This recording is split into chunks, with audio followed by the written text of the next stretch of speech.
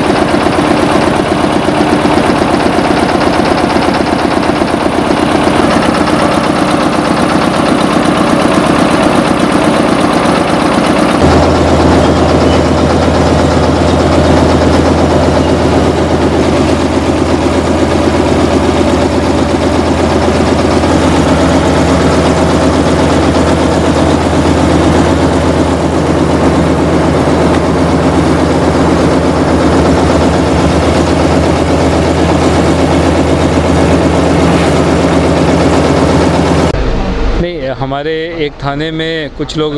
test में preliminary test में positive आए हैं उनको आइसोलेट कर दिया गया है एलवन फैसिलिटी में और साथ में उस एरिया को बंद करके उसको सैनिटाइज भी कराया जा रहा है नहीं हॉटस्पॉट नहीं है ये क्योंकि प्रशासनिक भवन है जहाँ लोगों का आना जाना रहता है तो शासन के आदेशानुसार इसको बंद करके इसको सैनिटाइज कराया जा रहा है शासन के आदेश के अनुसार जितने घंटे बंद करना उतने घंटे उसको बंद रखा जाएगा